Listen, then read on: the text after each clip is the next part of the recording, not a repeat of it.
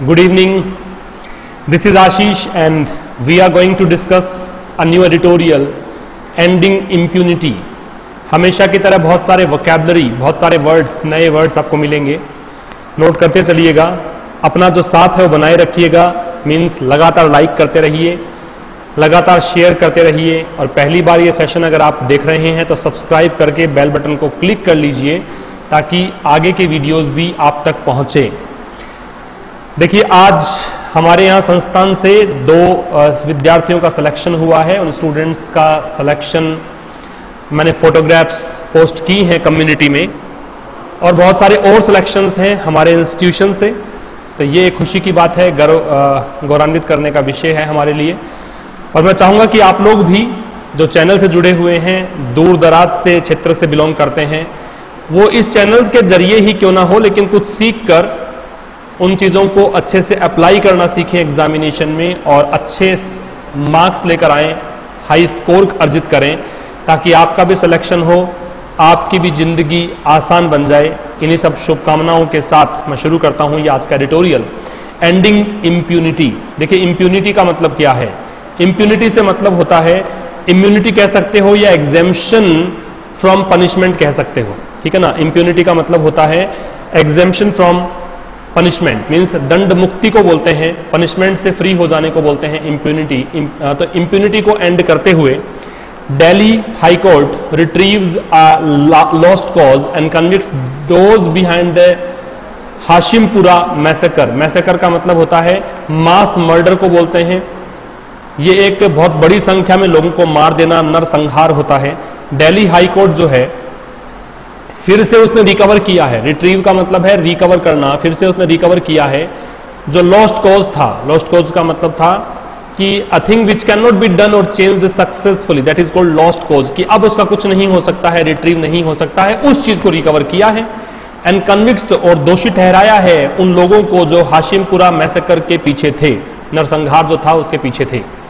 The conviction of 16 personnel of the provincial armed constabulary for the massacre of Muslims committed 31 years ago is a rare instance of the justice system responding to the cry for accountability and justice. देखिए conviction of 16 personnel person मतलब कर्मचारी होता है।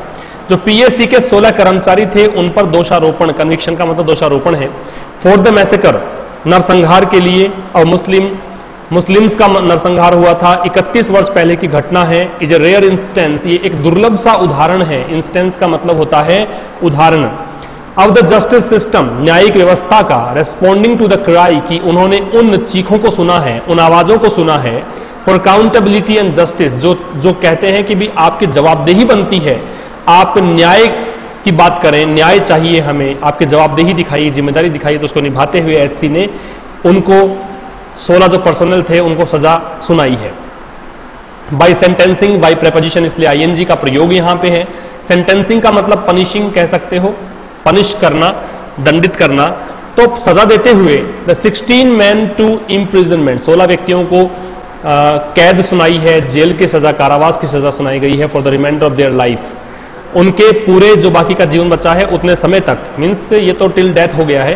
The Delhi high court है signal Delhi high court ने संकेत दिया है an end to the impunity कि भाई दंड मुक्ति की जो व्यवस्था है उसका हमने अंत कर दिया है। They had seemingly enjoyed all along due to system delays क्योंकि पहले से ही ऐसा लगता है कि उन्होंने एंजॉय कर लिया है सब कुछ, क्योंकि 31 वर्ष बाद में ये डिसीज़न आया है तो पहले से ही आपने एंजॉय तो कर लिया है। तो अब इंप्यूनिटी की आवश्यकता भी नहीं है, क्योंकि सिस्टमेटिक डिलेज था। मीन्स बहुत देरी से निर्णय आया एंड परफेक्शनरी परफंक्शरी इन्वेस्टिगेशन परफंक्शरी का मतलब होता है अनइंटरेस्टेड और केयरलेस सतही सुपरफिशियल कह सकते हैं सुपरफिशियल इन्वेस्टिगेशन क्योंकि जो जाँच पड़ताल की गई थी, वो सुपरफिशियल आधार पर की गई थी, ऊपरी तौर पर की गई थी तो उसके चलते पहले से इंजॉय कर चुके हैं लाइफ को तो अब इम्प्यूनिटी का सिस्टम जो है वो एंड करने की बात यहाँ पे हाईकोर्ट ने की है।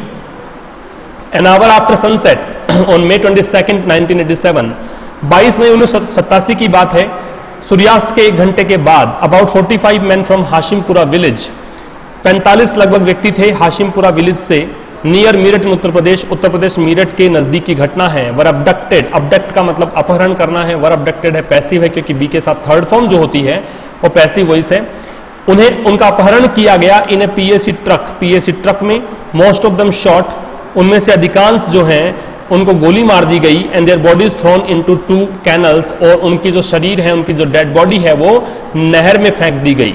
है ना? उनकी बॉडीज को नहर में फेंक दिया। कैनल्स का मतलब नहर। They were among more than 600 people rounded up by the security forces round up का मतलब आप अरेस्ट कह सकते हैं। ठीक है ना? समूह को गिरफ़्तार करना राउंड अप कहलाता है। तो वो उन 600 से अधिक लोगों में से थे जिन्हें गिरफ़्तार किया गया था सिक्योरिटी फोर्सेज के द्वारा after the brother of an army officer was killed in communal violence जब सामुदायिक एक हिंसा हुई थी कम्युनल वायलेंस हुई थी, उसमें जब एक आर्मी ऑफिसर का भाई मारा गया था, उसके बाद की घटना है and two rifles were stolen by rioters और जो दंगा भड़काने वाले लोगों को राइटर्स बोलते हैं, उनके द्वारा दो राइफल चुरा ली गई थी फ्रॉम द पीएससी पीएससी के पीएससी से। The police later establish 38 deaths police ने उसके बाद बताया कि भी 38 डेथ्स हुई। But could not find the bodies of 22 of them लेकिन उनमें से 22 की बॉडी ही नहीं मिली।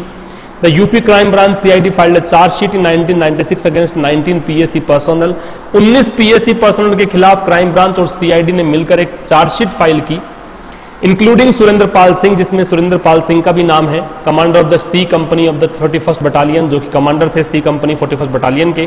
The prosecution case was bagged अब जो प्रोसिक्यूशन का मतलब है, वो पार्टी जो हुई prosecuting means institute of conduct legal action against someone तो किसी ने जिसमें केस दायर किया प्रोसिक्यूशन केस है तो प्रोसिक्यूशन केस था, उसको सहारा मिला by the testimony of testimony मतलब प्रूफ कह सकते हो, सबूत कह सकते हो, कि उनको पाँच व्यक्तियों का प्रूफ मिला, पाँच व्यक्तियों ने सबूत दिए, जो कि सर्वाइव कर गए थे being shot and thrown into water bodies इनको गोली मारना और जो ये घटना हुई थी वाटर वाटर के अंदर पानी मतलब पानी में जो फेंक दिया गया था डेड बॉडीज को, उनसे सर्वाइव जिन्होंने किया था, उनमें से पाँच लोगों ने सबूत बताए। इन 2015 2015 में the trial court acquitted all the 16 available accused 16 जो एक्यूज थे अवेलेबल उपलब्ध देखिए 19 के खिलाफ चार्जशीट दायर की गई जिनमें 16 ही वहाँ पे अवेलेबल थे, क्योंकि थ्री जो थे इंक्लूडिंग द कमांडर जो कमांडर जिसमें शामिल था, वो उस समय तक मर चुके थे। उन सभी को 2015 में ट्रायल कोर्ट के द्वारा दोष मुक्त करार दिया गया। एक्विटेड का मतलब दोष मुक्त होता है। As it did not have evidence on the identity of the truck और the PSC man travelling on it क्योंकि इस पे इसमें कोई एविडेंस नहीं रहती कि डिड के साथ में वी ज़ीरो लगता है, इसलिए यहाँ पे हैव का प्रयोग है। It did not have evidence क्योंकि इसमें कोई सबूत नहीं मिला on the identity of the truck truck की आइडेंटिटी को लेकर और the PSC man travelling on it या फिर पीएससी मैन जो उसमें यात्रा कर रहे थे उसको देखकर कोई भी सबूत वहाँ मिला नहीं। इसके चलते सबूतों के अभाव में उन्हें रिहा करना पड़ा इन व्यक्तियों को। एक पैराग्राफ हमने कंप्लीट कर लिया है। लाइक करते रहिएगा लगातार। क्योंकि मैंने पहले भी कहा कि ये एक चीज़ है जो मुझे एनकरेज करती है और हर एक इंस्ट्रक्टर हर एक टीचर को एनकरेज करती है। द एनमास एनमास का मतलब क्या है? एनमास का मतलब है all together as a group समूह को बोलते हैं एनमास एक्विटल जो ये समूहात्मक दोष मुक्ति की बात हुई, वो जो ट्रावेस्टी ऑफ़ जस्टिस वो जस्टिस का मखोल था, मज़ाक उड़ाया गया था, ऐसा मान लीजिए। ट्रावेस्टी मतलब मखोल होता है। ये आप डिस्टोर्शन कह सकते हो पुअर इमिटेशन कह सकते हो। There was great concern that document that could have been out ये एक गड़ी चिंता का विषय था कि जो दस्तावेज़ हेल्प कर सकते थे आरोपियों को पता लगाने के लिए, पकड़ने के लिए। नेल का मतलब यहाँ पे कैप्चर करने के लिए, मान लीजिए कैच करने के लिए हैड बीन वीडेड आउट वो सारे नष्ट हो गए थे, वो सारे सेपरेट आउट हो गए थे फ़िल्टर आउट हो गए थे। वीडेड आउट का मतलब फ़िल्टर आउट सेपरेट या फिर नष्ट हो जाना। It is to the credit of the Delhi high court लेकिन दिल्ली हाई कोर्ट को श्रेय जाता है that it was not content कि ये संतुष्ट नहीं था। कंटेंट के साथ में प्रेपोजिशन विद का प्रयोग करते हैं सेटिस्फाइड के साथ में विद लगाते हैं। ये संतुष्टिजनक जो शब्द हैं, संतुष्टि के लिए जो शब्द आते हैं, उनमें विद का प्रयोग हम करते हैं। It was not content with merely examining merely का मतलब ओनली केवल इस एविडेंस का एग्जामिन करने से संतुष्ट नहीं था। Produced before the trial court जो कि ट्रायल कोर्ट के सामने एविडेंस रखे गए थे एक्सेप्टिंग ए प्लिया प्लिया मतलब याचिका by the national human rights commission national human right commission के द्वारा एक याचिका एक्सेप्ट करते हुए it allowed additional evidence to be recorded इसने अलाउ कर दिया कि अतिरिक्त जो एविडेंस है उनको भी रिकॉर्ड किया जाए trial court even as the appeal was pending चाहे अपील पेंडिंग ही क्यों ना हो। The C companies registers C company का जो रजिस्टर्स हैं with records of the movement of PSC vehicle जिसमें सारा रिकॉर्ड था कि पीएससी व्हीकल्स कहाँ कहाँ मूवमेंट हुआ होंगे कहाँ कहाँ गए and the deployment of personnel और जो पर्सोनल uh, हैं जो कहें कि जो कर्मचारी हैं, उनका डेप्लॉयमेंट कहाँ कहाँ था, कहाँ तैनाती की डेप्लॉयमेंट का मतलब तैनात करने को बोलते हैं। Provided the evidence to pinpoint pinpoint का मतलब लिख लीजिएगा आइडेंटिफाई पता लगाना आइडेंटिफाई को बोलते हैं पिन पॉइंट अब प्रोवाइडेड द एविडेंस उन्होंने इन सब चीज़ों ने सबूत पेश किए to pinpoint both the truck that had left the police lines दोनों चीज़ों का पता लग गया इससे। कि ट्रक जो कि पुलिस लाइन से निकला था, मेरठ एंड इट्स ऑक्यूपेंट्स और उसमें कौन कौन ऑक्यूपाई कर रहे थे रिक्त स्थानों कौन भर रहे थे मीन्स ट्रक में कौन कौन लोग थे। These records were not available to the trial court ये सारे जो रिकॉर्ड्स थे वो अवेलेबल नहीं थे ट्रायल कोर्ट के सामने apart from bringing home the culpability of the accused culpability का दोष को बोलते हैं। ब्रिंग होम जो शब्द है, इसका मतलब होता है इंफेसाइज करना हाईलाइट करना। तो जो दोष है आरोपियों का, उसको हाईलाइट करने के अतिरिक्त अपार्ट के साथ में फॉर्म लगेगा। देखिए प्रेपोजिशन ही बताता हूँ आज कि प्रेपोजिशन बहुत ही इंपॉर्टेंट है और यही एक ऐसी चीज़ है जो आपको याद भी करनी है। बाकी देखिए रूल सभी को आते हैं कॉमन चीज़ें हैं। कल्पेबिलिटी ऑफ़ द एक्यूज तो दोषियों का आरोप ना केवल इन्होंने इंफेसाइज किया हाईलाइट किया the high court concluded that high court ने यह भी निष्कर्ष निकाला कंक्लूड निष्कर्ष निकालना या इसका अंत करना that these were custodial deaths कि ये जो डेथ थी वो कस्टडियल थी कस्टडी में इनकी मृत्यु हुई as well as targeted killings of people from a particular community और साथ साथ में टारगेट करके मारा गया है और एक ही कम्युनिटी के लोग मतलब मुस्लिम्स को ही मारा गया था। The Hashimpura massacre case will be long remembered ये हाशिमपुरा जो नरसंहार हुआ है, इसको लंबे समय तक याद रख किया जाएगा। Both for the unconscionable delay unconscionable का मतलब होता है अनएथिकल अनैतिक एक तो जो डिले हुआ है जुडिशियल सिस्टम में judicial system has become habit जिसका जुडिशियल सिस्टम आदत जिसको पड़ गई है, ऐसी आदतन एक चीज़ है कि डिले करते ही है। कोर्ट के केस को हैबिचुएटेड में टू लगता है। प्रपोजिशन याद रखिएगा। एंड फॉर द मैनर और वो तरीका in which case almost lost has been retrieved और जिस तरीके से जो एकदम से लॉस्ट हो गया था केस इसको रिट्रीव नहीं किया जा सकता था, उसको रिट्रीव किया गया है हायर जुडिशियरी के द्वारा.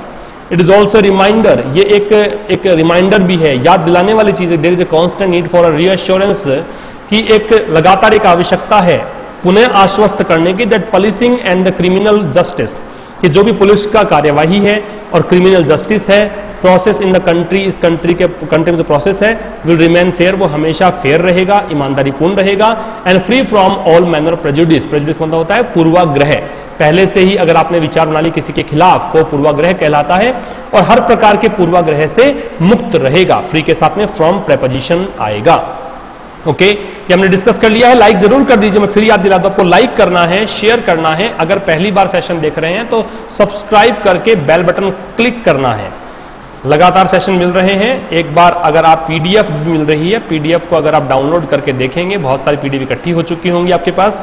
आप उनको लगातार रिवाइज करते रहें, क्योंकि रिवीजन जो है, वो आपको पे करेगा। Okay thanks for watching this one see you tomorrow with a new editorial till then goodbye